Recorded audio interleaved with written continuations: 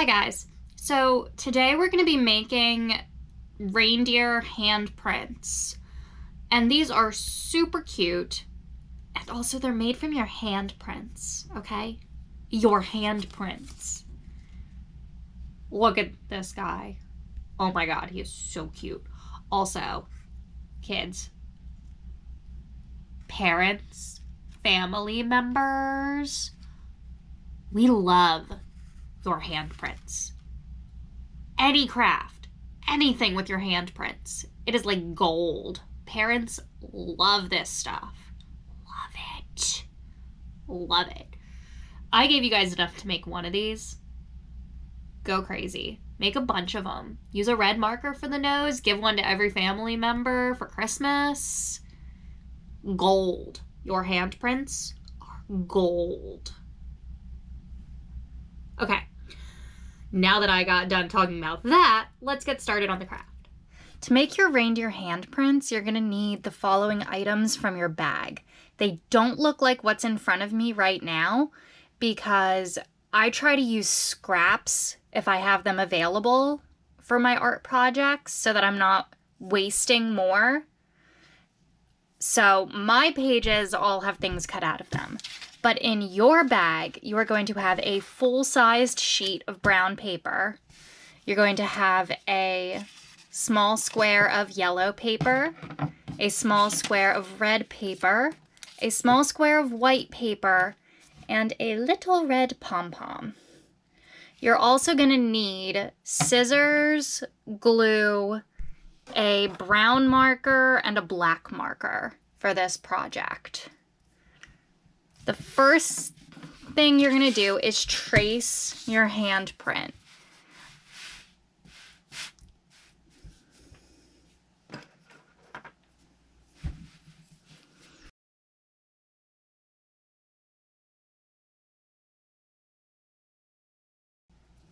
And for the palm, you're just gonna do a slight curve so it's not straight across, but then you're gonna cut out your handprint.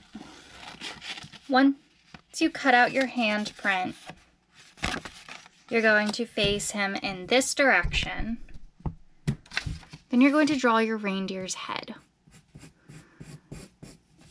You don't want a perfect circle. You want to get kind of a blockier, curved edge rectangle for his face.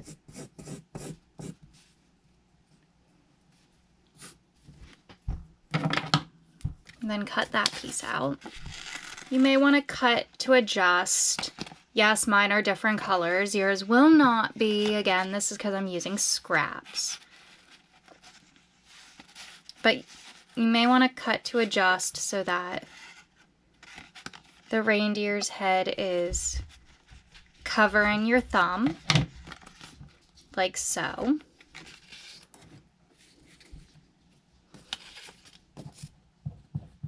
And just glue that guy on. Our reindeer now needs a little tail.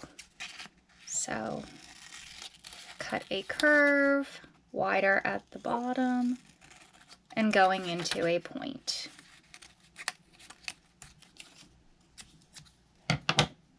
And we're going to glue that onto the back of your little reindeer. After you put the tail on, you're going to cut his sash. You want his sash to go from below his tail to right where your pointer finger starts coming out. So I would want from here to here. I'm going to cut that and make a curved sash to go across the reindeer's chest because this is what helps him pull the sleigh. This is going to hold him to the sleigh. It's very important. If the reindeer is not tied to the sleigh, the sleigh does not go anywhere. So it is very important that the reindeer are harnessed properly. So we need to add something now to his harness because when the sleigh goes through the sky at night, you hear jingle bells. But what part of the sleigh jingles? There's bells on the reindeer's harness. So we need to draw three bells. Bells are can be made very simply. Make a circle. Put a curve a little bit below the middle of the circle, a little line down, and a circle at the end of the line, like that.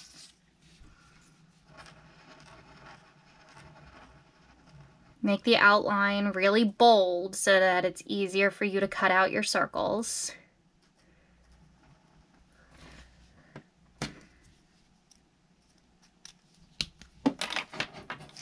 And then we're going to cut these out and glue them onto the harness. Okay, we've got the bells and the harness. And we need some hooves. So with your black markers, draw little curves at the bottom of your fingertips, which are his feet, and color them in black to represent his hooves. Now we have to give this reindeer a face. He is still missing a face. Poor guy. He needs ears. So let's get two ears. Curve up two cuts, curving up into a point like a triangle, but curved. And these are just to get glued on the sides, the top corners of his head. Next, we're to put some antlers on top of his head. So here's where you're going to need your brown marker because we don't want the antlers to be the same color as the rest of his skin. We want them to be darker and stand out. So we're going to draw some antlers. I'm just going to do a simple antler. Um, I don't want to deal with anything too elaborate. Um, just me personally. But you can go crazy. You can give him a huge head of antlers. You can go nuts.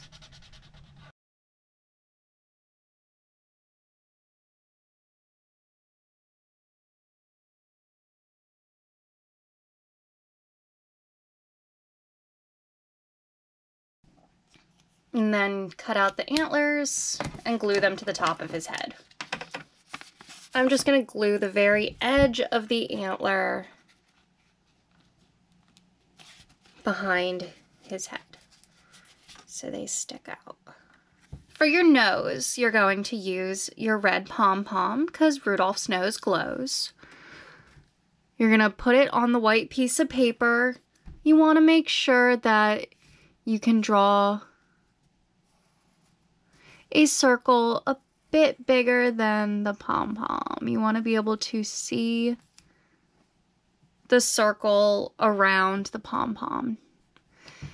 That's going to serve two functions. One, to show, to give his um, muzzle area, nose, a bit more depth because their noses are not flat on their face.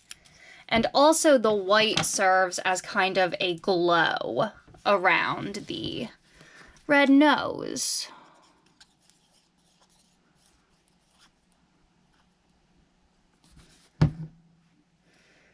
Smack that down on his face.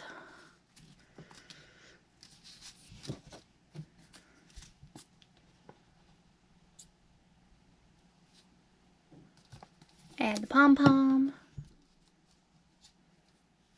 Use your black marker. And give him eyes. You can make your eyes look however you want. You can give him open eyes, shut eyes, cute little squinty eyes. I'm gonna attempt to do like a cute little squinty eyed thing. And we're gonna see how it looks. Um, I've seen it done in like cartoons and stuff. Hey, that doesn't look too bad. Look at me doing things. It's nice to try new things. I could have. And there you have your little handprint reindeer.